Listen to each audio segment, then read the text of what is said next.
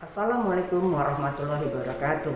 Terkait dengan pemberitaan mengenai pemulasaran dan pemakaman jenazah pasien COVID-19 yang berbayar, maka dengan ini dapat kami jelaskan bahwa pemerintah Kota Tangerang melalui Dinas Perumahan dan Pemukiman serta Dinas Kesehatan telah menyampaikan kepada seluruh rumah sakit di Kota Tangerang bahwa biaya pemulasaran dan pemakaman pasien COVID-19 serta mobil jenazah tidak dipungut biaya atau gratis.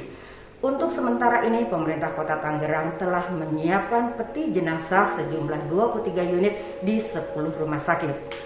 Pemerintah Kota Tangerang telah membuatkan surat teguran kepada pihak rumah sakit yang tidak mentaati prosedur yang telah disosialisasikan sejak bulan Maret.